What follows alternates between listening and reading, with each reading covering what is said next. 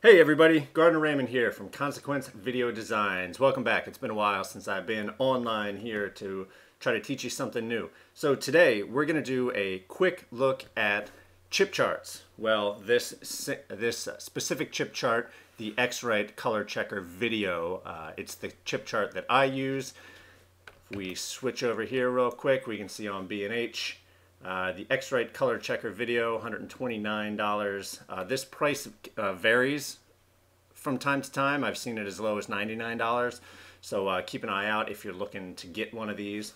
Uh, what this chip chart displays here, on one side you have skin tones down the left, you have a seven step gray scale, gray, black to white. Here on the left, in the center, you have white, um, 40 IRE gray, a dark gray, and a black.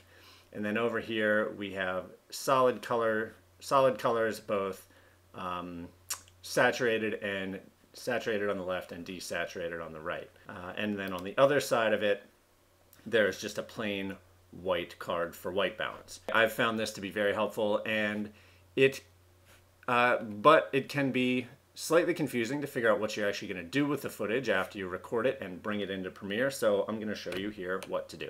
So here's a chip chart that I shot at the beginning of a, uh, a shoot a couple weeks ago. Have it up here on the right. I just clamped it in. You can have somebody hold it. Uh, here's another shot of the white card, but we're just going to deal with this for right now. If you haven't already, open up your waveform uh, you can find it in Premiere under Window Lumetri Scopes. Uh, and then this window will pop up somewhere. Right here, I have uh, the wave, an RGB waveform monitor on the right and an RGB parade. Uh, actually, the RGB parade is on the right. The waveform monitor is on the left. Um, what this basically shows you is these two, these two scopes are showing you essentially the same thing, but the one on the left has red, green, and blue stacked on top of one another, and you can see where they overlap, the different colors they produce. You know, some purpley. It's uh, pretty spot on here. On the left-hand side here shows your IRE values from 0 to 100. Um, if you click on this wrench icon down here, you can decide what you want to see. If you also want a vector scope, uh, if you want both kinds of vector scopes, uh, there's presets of what you can what you can show up here. There's all, there's all kinds of fun things. Um, usually what I just end up using is the waveform though. And so right now you see waveform is on Luma. Apparently I can't change that without that. So I'm going to go to waveform, um, waveform type, RGB. So real quick, uh, you can change the parade type. Um, so you can see RGB, YUV, RGB white, YUV white. Uh, if I change these around, you can kind of see how it um, what changes here. So, but I don't want the parade because I'm not going to use that. I'm going to deal just with uh, the waveform monitor here. In the waveform type, you can also see the different options here. If you switch it to Luma, you get higher um, IRE numbers. You get at negative 20 to 120, so you can, you know, bump that up, up or down if you need to depending on the type of shoot you're doing, but I just like it RGB, especially for this because we're trying to uh, get the right color balance. Ideally, you'd white balance with your with your uh, card here on the shoot, and everything should be showing up. This should show up as a white. It shouldn't show that there's more green and there's less blue. But maybe you messed up the white balance, maybe you forgot, or maybe you're shooting more than one camera and your white balance settings are just a little bit off. You know, maybe one set at 3200, the other one set at 3400 um, or you're using different cameras that just uh, you know the settings don't exactly match. So shooting one of these chip charts at the beginning can be very valuable in that situation because then you know you're looking at true white and true black and the colors are matching from camera to camera. So when you're cutting to that second angle or third angle, you're not, you know, visually it looks correct. So enough of that. Let's get into how to adjust this real quick. So um, what this showing, what this is showing you here in the Lumetri scopes and the waveform monitor here is I line this up so the shots, um, so the screens match exactly. You know, you can squish this down or move it however you want, but I wanted to line this up almost exactly so you can see exactly what this is showing you. So again, here on the left is the skin tones. You can see the skin tones stacked up here. Uh, then the seven-step grayscale stacked up here in the center, white, gray, gray, black down the center, and then the saturated and unsaturated colors here on the right. This little scoop back here and this color over here and over here is just the background that you're seeing. So if we shot this color chart full screen, you know, it would expand to the full screen of this. What this is also showing is I, am exposed on the higher end here if I had had a waveform monitor on set when I shot, which I did not, this was shot with an A7S1 um, and no external monitor. So, you know, I, I, I, winged it more or less using the zebras uh, in the camera.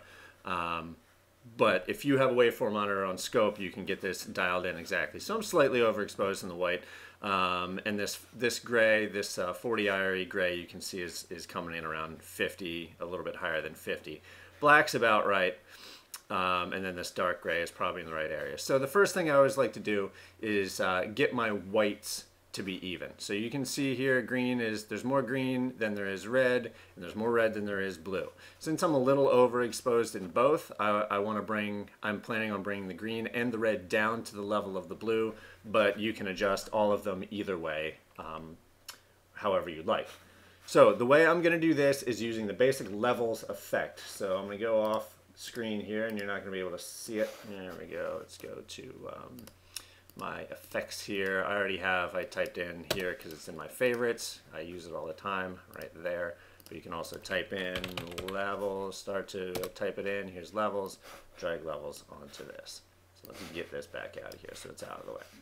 Okay, so up here in our effect controls, here's my levels. And you can see in the levels effect, it shows your, um, your, value, your input and output values for your overall image, your RGB, black, white, black, white, and gamma, and then broken out by red, green, and blue. So we're going to start with uh, green. We're going to bring green, this green line right here because this is the white up here. This is referring to the white up here. So we're going to bring this green line down so it's in, in uh, line with the blue. So we're going to come to green, and this is the white output level, I believe. And see as I click and drag this down, you can type in a number if you want, 240. Um, I like to click and drag. So let's bring this green down until it's in line about with the blue. So that looks 237. And you can already see a bit of a change in the image. If I pop off, turn off the levels real quick, here's the original. You can see it definitely has more green in it. And then here it is after just bringing that green down. So now we can see it's still a little bright with uh, the red, or still a little high with red here. So let's go to the red white output and drag that down as well. Click and drag here for a minute. And then when it's just about lined up, you can see off red, green, blue makes white here. Uh, in this instance, makes white. Um, so here's our original. Turn that off. There's our original shot, which looked okay. The white looked okay, but now that we've evened everything out, we can see that, oh, that was a green, or that's a gray wall back there, not really a green wall back there. Um, so then we're pretty good. It looks like I can enlarge this here. So now I want to adjust the black. Now that I have the whites pretty good, I want to adjust the blacks. And here, if I bring this full screen here, we can get a closer look. We can see the greens are a little low in the black values. Um, so let's bring those up and see how that matches. We might need to bring red down a little bit too, but let's look at the green first. So we go to the green black output, I believe. You will get these confused. You'll get input and output confused, and you'll know immediately which one's the wrong one, so it doesn't matter if you make it uh, make the wrong choice. Um, so if I thought this was black input and then I start to drag this up, you can see black input actually brings those colors down. And that's not the direction I wanted to go. I wanted to bring it up. Um, black, the black levels are very, um, very precise, so you usually only need to adjust it a little bit. So you can use the up and down arrow keys on the keyboard like I'm going to do here. So it's at zero, I'll press up once, twice, looks like that's about right. And that looks like that even, even evened out the red there too. But maybe let's bring the red down a touch so this, to bring it down, it's the input level. So let's press up once, bring that to one. All right, so now this shot is pretty much even um, in terms of the white looks like it should, the black looks like it should. Here's our, again, here's our original. You can see it has this greenish cast to it. And then here's the adjusted shot. Original, adjusted. And you can see the difference right here down, down in the waveform monitor as well. Now from here, we can adjust our overall luminance levels if we want. I usually only like using levels for to get uh, color balance. After that, I'll end up using um, the actual lumetri color here. Uh, so then if we wanted to, say, bring our exposure down a little bit, we can, you know, bring our overall exposure down. So our white's around 80. Um, how about we bring it down so this gray is where it should be around 40. So the gray's around 40, but my whites are now a little too low, so I can bring up my highlights. Uh, bring those back up a little bit. Back up to 80 and you can you can play with these and then you can also play with your color cast and whatever you want to do again after that. But it's good to start with an, a, a clean image before you start playing with uh, something like the scopes here or adding um, adding your creative effects know all your other stuff all your other options to this because you're never going to get exactly the right look that you want if you didn't start with the right color levels and the right luminance levels. Now let's take that off. So there's, so let's see, here's our original. So if I, so just real quick, um, let's take off the levels. So I didn't do anything, but then I added that effect with, with uh, the Lumetri color.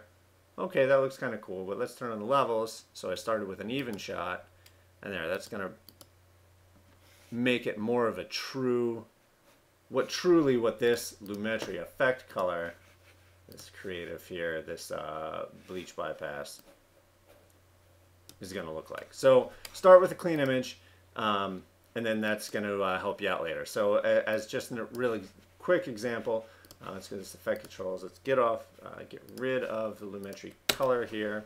So we just have a clean image. I'm going to Command C, copy this clip, or we can right click, copy. Um, and then here's a shot from my shoot here. Here's the original right out of the camera. And then let's add, uh, I'm going to right click, paste attributes, and then just the levels and apply that. So it's a subtle difference, but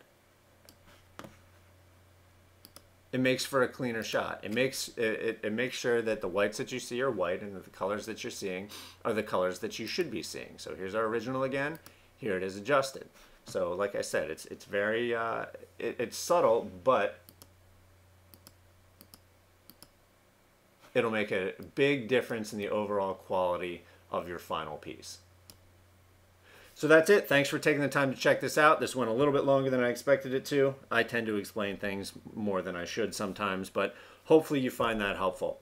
Anyway, thanks for stopping by. Check out Consequence Video Designs uh, for some more tutorials. You can check out uh, vimeo.com slash Raymond. There's also other tutorials on there. Um, or if you ever need any work done, feel free to shoot me an email and uh, I'll talk you through some ideas. Thanks again. Have a great day.